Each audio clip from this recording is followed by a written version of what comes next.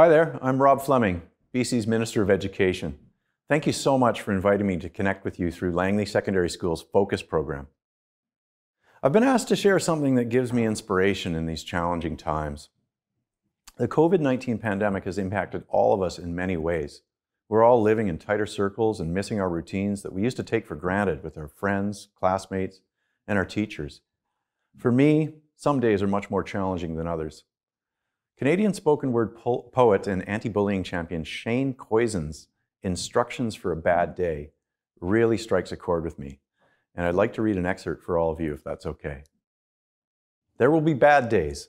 Be calm. Loosen your grip, opening each palm slowly now. Let go. Be confident. Know that now is only a moment and that if today is as bad as it gets, understand that by tomorrow, today will have ended. Be gracious. Accept each extended hand offered to pull you back from the somewhere you cannot escape. Be diligent. Scrape the gray sky clean. Realize every dark cloud is a smokescreen meant to blind us from the truth. And the truth is, whether we see them or not, the sun and moon are still there, and always there is light.